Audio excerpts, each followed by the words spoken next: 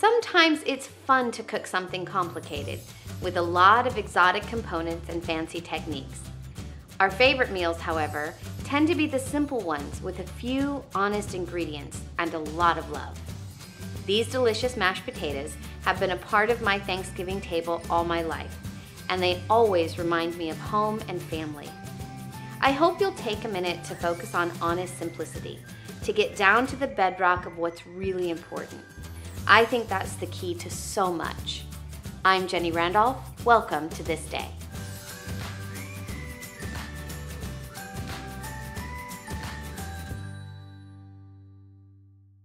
We are all about the potatoes today. And this might seem like a really simple recipe, but over the years, there are a few tips and tricks that I have learned to make sure that your mashed potatoes come out consistently amazing every time that you make them.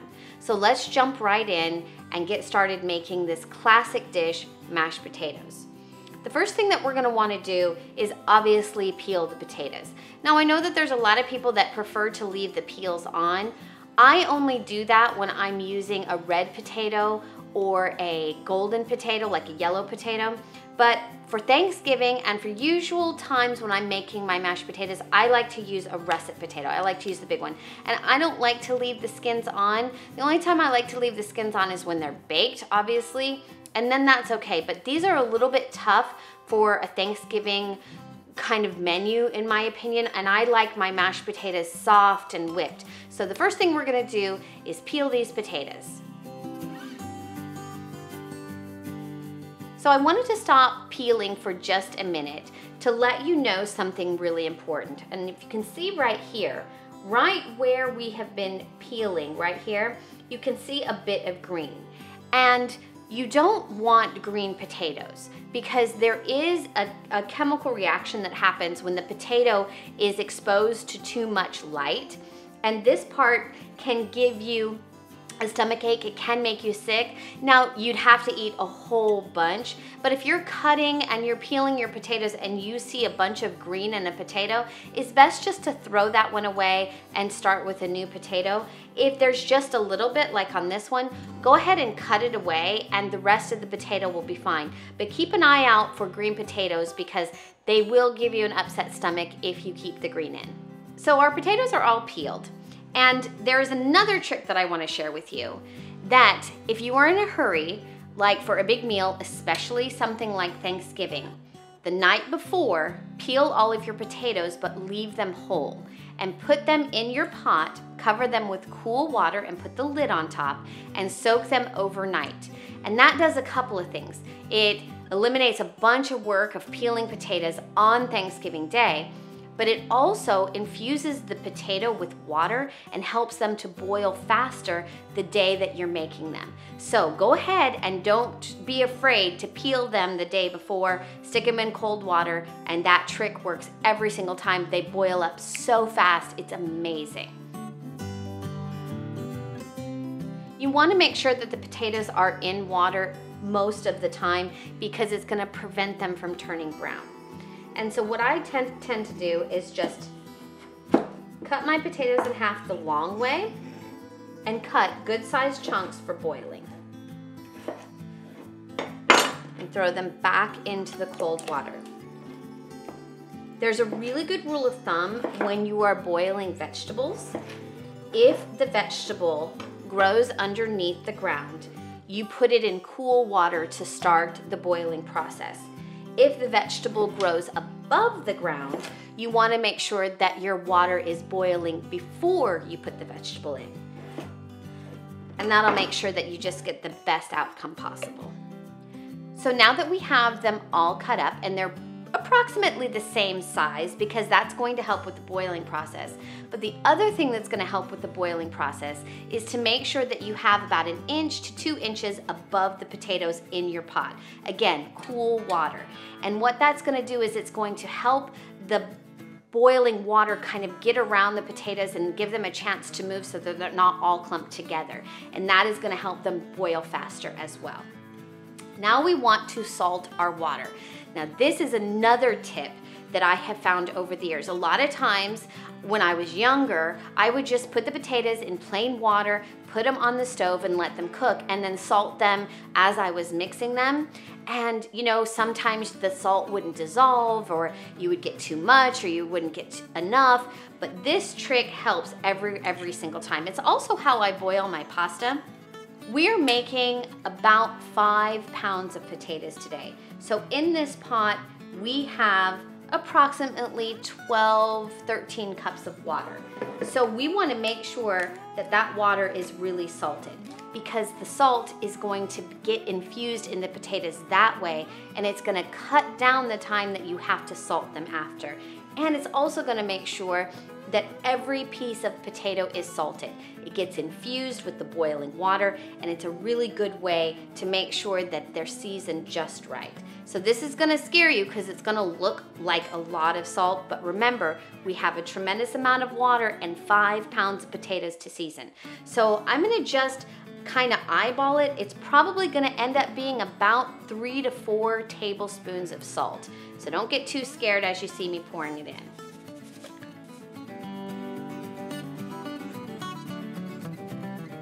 Like I said, it looks like a lot of salt, but it is the absolute best way to get that flavor into the potatoes. Now, it's over to the stove. We're gonna start it on a high heat to get it to boil and then turn it down to a simmer and we're going to cook these for about 35 or 40 minutes. So another tip I wanna share with you is the wooden spoon trick. And if you place a wooden spoon over your boiling pot of water, it's gonna prevent it from boiling over. And that means you can walk away from it and you don't have to stand there watching it the whole time. So you wanna make sure that they're done and you can do this by picking up a potato. One of the larger pieces probably is better and putting a fork in it. And if the fork goes through really easily just like that, you know that the potatoes are done and they're ready to be mashed. So let's go ahead and drain this pot.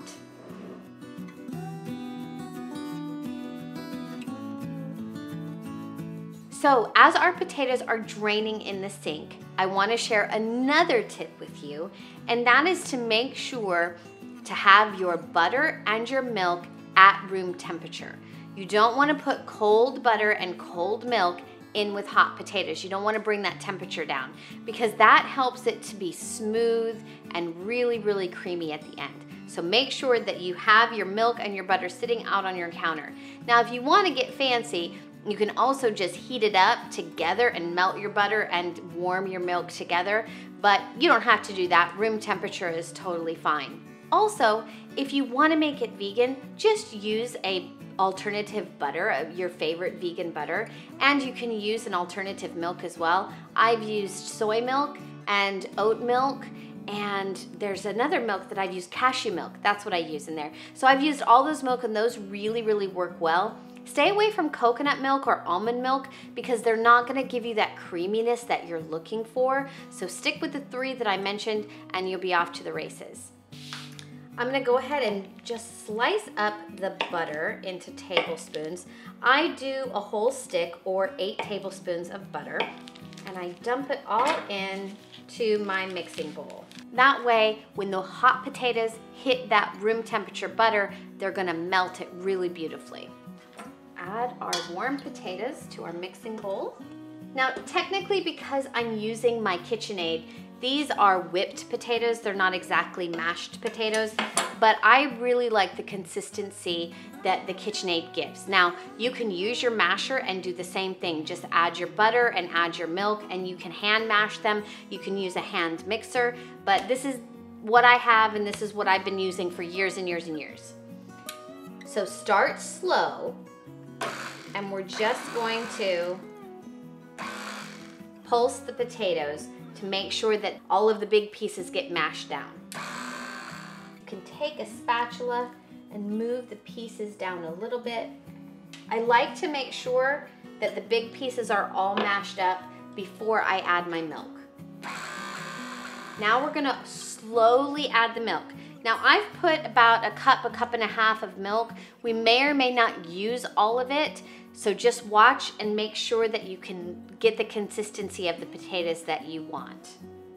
And stop it, push it down, check the consistency. I think a little bit more milk is gonna just do the trick. Also at this point, take a little taste and make sure that they are salty enough for you. We might end up adding just a little bit more salt to this, but right now we're good. We're just right on the edge, but as we're adding milk, just be aware of that.